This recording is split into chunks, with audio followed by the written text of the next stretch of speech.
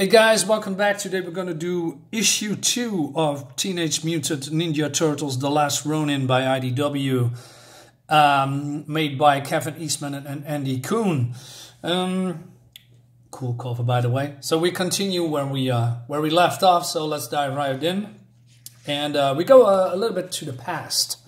And we see uh, April and um, Casey um, they are waiting for the turtles because they invited them for a meal, and uh, it seems that Casey proposed uh, to April, and they are worrying why they are so late. And then um, Raphael comes in all bloodied, and uh, he says that he uh, he and the other turtles were ambushed, and that um, Master Splinter is being hurt by uh, by the foot soldiers.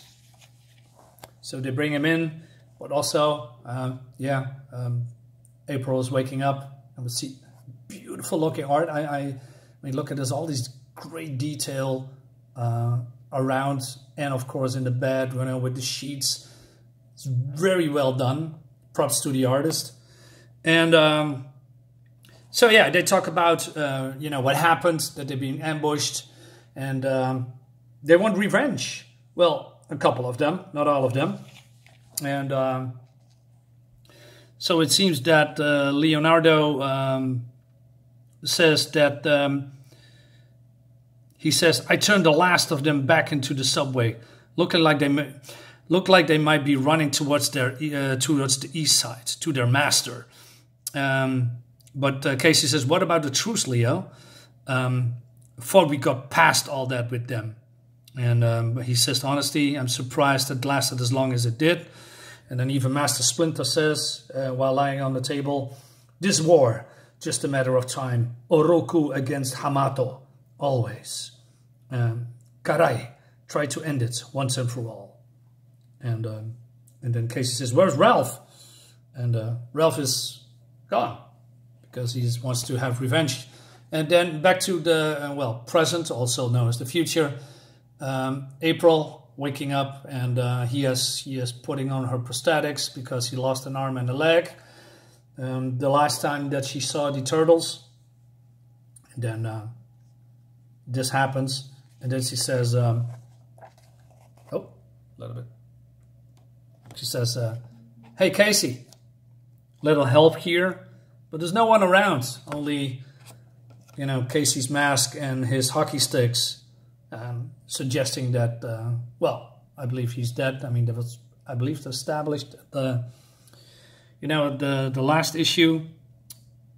Um, then Mikey, Michelangelo is, uh, you know, uh, in the kitchen and he is um, making some tea and he talks to his fallen brothers. He see, I believe it's all in his mind. He sees their images, their ghosts, their conversations, and um, and the brothers are, uh, you know, talking to themselves, they arguing, and um, yeah, Mikey is, is getting mad, and he yells at them, but then in the end, there's nobody there. But then he calms himself, making the tea, and then um, the brothers come back, and he uh, says, let's, let's have a toast. I will finish what we started, what Master Splinter raised us to do, the last Oroku. And uh, so, yeah, they're having a toast, although these are not real. Very cool. Well, very well done. Uh, we go back to the uh, past again, and then we see. Uh, wait a minute, who's that? Uh, just give me a sec. Uh, I'm sorry, I'm not all familiar with all these characters. Oh yeah, Raph, Raphael.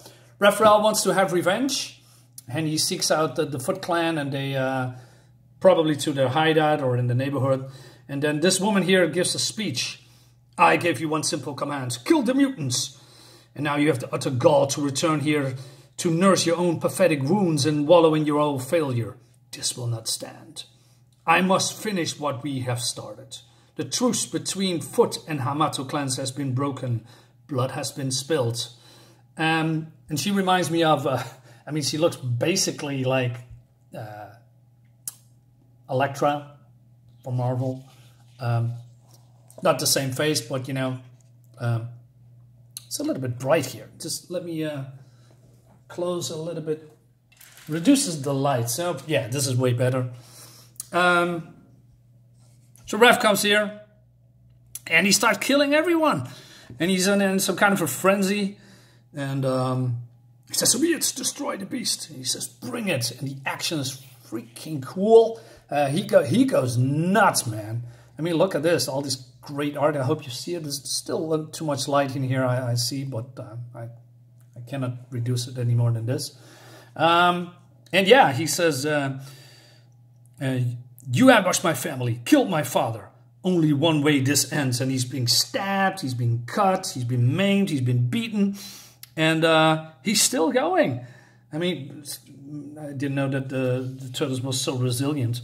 And um, but then eventually this this woman steps in, and he says, uh, "So stop behind your uh, behind these scrubs that we finish this once and for all." And he says, "Yes, we will." And they are starting attacking each other. And uh, again, action looks freaking cool. And I believe that this is the woman, the mother of the, the main bad guy in issue one. He is also coming in this issue for a short bit. And um, so they are fighting to the death. Um, he says, my soldiers have failed to take you out, mutant, or take your head, but I will not. And they fall. I mean, she, he, he picks her up and does a, yeah, I call it a uh, wrestle move. And he they fall into the bay and uh, they, are still going at it. So cool. I mean, mostly in, in, in, modern comics, yes, although this is a modern comic, uh, the action scenes, two, maybe three pages, that's it. But this goes on and, and we see all these, these crazy moves and no, uh, either side is try to, you know, get the kill. Um, so there's so there's no you know, uh, one is overpowering the other. I mean, they are equally strong, and I like that. Um, but at the end, um, they stab each other, and, and, he is falling down of it. You know, well, not drowning because he's a turtle, I guess. But uh, she is being picked up by, I don't know, maybe um, the Foot Clan. Uh, they're, they're, her subordinates. I'm not entirely sure. And then we go back to um, to the present again. And he says, Michelangelo, what the hell are you doing? And you should be resting. And um, and then uh, they have a chat with each other. They talk about what happens, but also some. Um, um, Michelangelo's a little bit weirded out that she has prosthetics, and um, he says, "Yeah, uh, sorry," and he also doesn't know how he uh, survived the whole thing. But uh, April has a uh, answer to that because um, I'm no Donatello, she says, but it doesn't take a genius to see your mutation has progressed over the years. You're bigger, stronger, and you're healing amazingly fast. And that's one of the reasons that he's survived that fall from that very, very, very tall building uh, somehow. So, yeah, he has uh, great healing powers now. But he says, not all is well. My head, it's still so fuzzy. Still don't know where I, uh, how I got here. Back to the lair. And she says, hold that thought. And it says, Casey, breakfast. And I thought to myself, wait, what? Casey's still alive? And, and, and Michelangelo says, has the same thought. He said, what? Casey's still alive too? Are you reading my mind, Michelangelo? But then uh, it's not Casey. It's her daughter. And she introduces to him Casey Marie Jones. Uh, look at all these fantastic looking detail in the background and in front of. I mean, it's again props to the artist. Also, look at this this prosthetic, how much detail there is in it. Man, I, I just love detail. So she introduces herself, and um, she says, "We are uh, we kind of already met, and it seems that she has saved him because he wanted to kill himself. You know, doing seppuku, and um, you are." Um, a lot less conscious and more bloody uh, at that time. And um, but she also says that um, I mean, look at look at the posture and the face. And he says, uh, Casey, he says, yeah, that's me. And you're supposed to be the funny one, right? Uh, so they're having a lot of catching up to do. And uh, she says that they only know him from childhood stories, basically saying that, uh, well, she she admires him and, and you know, uh, because um, April tells it in such a way that they are like mythical heroes or something. Uh, then we go to the bad guy. He's been training and he's been, uh, you know, being hit by one of his, uh, his, his minion subordinates. And he says, excellent strike, almost masterful. Unfortunate for you. And so he cheats and he slices him up. He slices his throat. This lesson has ended. Clean up this mess. mess. Come, Captain Fukuda. So he asked about the the, oh, the mutant, right? And said that if they found a turtle, and uh, so the captain says no because the um, the, the, the the trail went cold and um, he disappeared.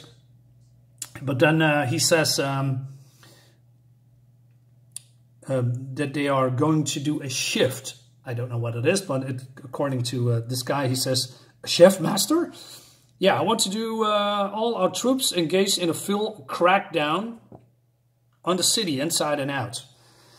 And once we capture the filthy creature, we will destroy it with extreme public prejudices. Prejudices. Prejudices? So something like that. And um, he also says that if he's not, in, not doing what he says or, you know, finish the mission successfully, um, because he's now a new race captain, the price for failing me again will be the same as your predecessors. It's a little bit macabre here. So, uh, yeah, very nice. Uh, meanwhile, uh, April and her daughter and, uh, and Mikey um, talk, have, you know, they have eaten and, um, and they talk where they are. It seems that New York City has been cut up into districts. You have the bottom, the middle, and the below. And uh, the below, uh, that is where they are now. And they call it, it's rock bottom, and um, and there's a, a, lot of people. There are you know resistance fighters, etc. And um, so uh, Casey shows um, Mikey around, and she uh, and she you know repeats a little bit what I said before. Blows my mind to be standing here with you. I heard so many stories, and Mom showed me some of the old photos. You guys were practically like storybook heroes to me. I even tried to learn as much martial arts as I could, on my own mostly. So yeah, she, she is not a strong female modern character. No, she's actually training to become better and stronger, but she's not invincible, right? She's not instantly amazing like they do in the other comics. and uh, she, she, talks about old videotapes that that she used, and uh, she talks about revealing the weapons of the turtles. He says, I know some of the history too, things like Bushido and seppuku. And uh, is a little bit ashamed of that. She said, these are very personal to me, thank you. And um, she said, I understand why you know the honor of it, talk about seppuku. And uh, he says, did you say, say anything about your mom? He says, no, nothing. Things been pretty rough the last few years, so to see a little bit of hope in her eyes, well, he says, thanks again. Yeah, that's a nice gesture. And um, so they still talk about, you know, uh, about the past, that, uh, about what she's done, and um, that she's reading a journal and, and learning techniques, uh, life lessons. And um, then she says, where have you been all this time? And um, Mikey says, after all this bad stuff that happened to me, it was too much to handle. So, and then we see a flashback, but with a completely different art style. And I didn't see that coming. Now, to be honest, I don't think this art is belongs in here. I mean, when it comes to the flashback scenes, but on the other hand, I don't dislike it at all. I mean, the story is pretty nice. He basically tells the story that he needs to get away from New York, so he goes into the mountains, but he wasn't prepared about the cold, and since he is a uh, cold-blooded creature, he didn't stand a chance. So he thought he was going to die, but somehow his his body survived, and uh, his and it would not die. And then when spring came, um, he started to learn to meditate, and um, he says, "I read and reread Father's book." looking for some kind of balance, maybe even final peace. And uh, but then the real world found him again, and they uh, they say monster, freak, kill it. And then um, he goes nuts, and uh, because they want to kill him, and then well, we see a battle. He says, um, when I saw the look of their faces, laughing, taking a life just to just to take a life for fun, no honor, that's when I got mad, really mad. We raced with respect and honor, trained from birth for redemption for our family. That was my destiny, on the battlefield to the end.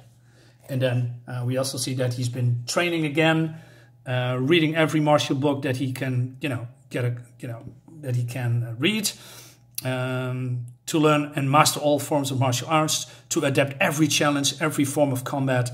It was the last of my, I was the last of my clan, masterless, Ronin. And it, oops, and it was up to me to restore our family honor. I really like that. So this, this whole art thing wasn't intrusive or distracting. Uh, I was just, you know, a little bit surprised that they did this kind of art in here, but I don't mind because the storytelling is so good and it has been shown in in, in a very cool way. Um, so yeah, don't mind it at all. And um, and then he he talks about that he's coming back to the mainland uh, for revenge, and then we you know he goes back to um, to Casey. Uh, he says to complete my master's mission, kill the last Oroku. And this last page, what does it mean? No, and it says no peace. It says it means I still got work to do. Good, because my guru is going to help you. And he says, no, no, no, I, I don't appreciate the offer. But uh, she's just stubborn as her father. Um, she says, because I wasn't asking, I wouldn't even be standing here if it wasn't for us. Uh, you wouldn't even be standing, I'm sorry. And uh, we, got the, we got trouble coming now that you steered things up. So if you don't want to help taking out Hiroto, then stand in line. And then he smirks. He says, what's so funny? Just trying to decide if you're just more like your dad or your mother. And then we see this last shot of April taking something out of the out of a a vault or a, this thing. What I, I spontaneously forgot what the name is. Um, so yeah, pretty cool. This is going to be in the last issue. Also, fucking cool cover. Uh, I like their Last Ronin a lot. Um, yeah, turtles are cool. I um, I didn't know that I would, uh, you know, that would be so such a good read um, because I don't know, still don't know much about the whole history about the turtles. Uh, I think if after this this whole event, I'm gonna pick up more turtle books and uh, see what's going on. Oh, oh also before I forget, um, um, there, there, was a cool. Let me. Uh, Wait a minute. I, I wanted to show you. Uh, is it here? Nope. Uh, is it here? Oh, yeah. So, um, wait a minute. What's his name? Why am I forgetting all these names? I'm so sorry. Uh, oh yeah, Raphael. Raphael says, uh, I says, um, my, uh, Casey says, screw that. Come on, Raph. Let's make sure Leo got clear too. Damn straight, it's body count time, he says. And I remember there is a turtle book called Body Count, and I believe it has Simon Bisley's art in it. And it was freaking awesome. Uh, I need to get that book. Uh, I don't mind if I'm getting the trade paper book, but yeah, I, I like this small reference because I accidentally remember there is a body count turtle book that is actually freaking great. So uh, yeah, guys, thanks for watching. I hope you liked the video, and I see you next time. Bye-bye.